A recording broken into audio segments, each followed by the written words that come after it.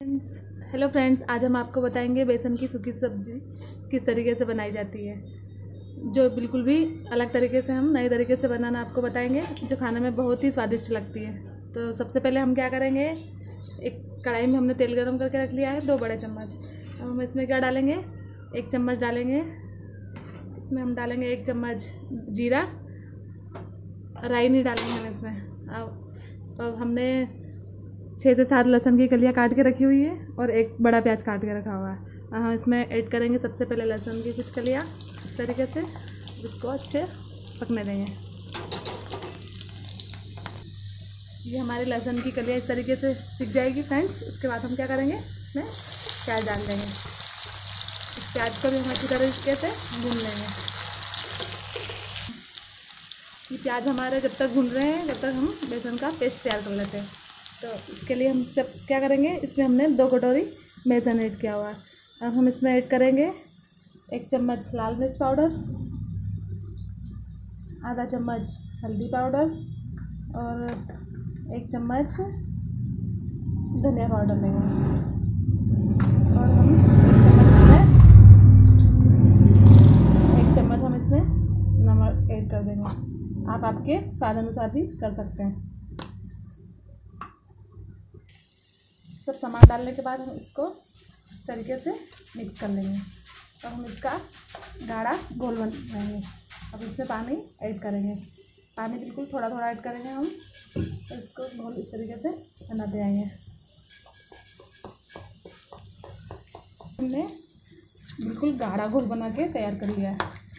इसमें हम ज़्यादा पानी नहीं डालेंगे, सिर्फ़ गाढ़ा ही घोल बनाएँगे। इस तरीके से ये हमने घोल बना के रेडी कर लिया देखिए दोस्तों, ये हमारे प्याज इस तरीके से बादामी कलर के हो गए हैं। अब हम इसमें ऐड करेंगे बेसन। ये बेसन हमने बिल्कुल इस बात का विशेष ध्यान रखें दोस्तों कि बेसन का पेस्ट बिल्कुल गाढ़ा होना चाहिए। अब इसमें हम बेसन इस तरीके से ऐड कर देंगे।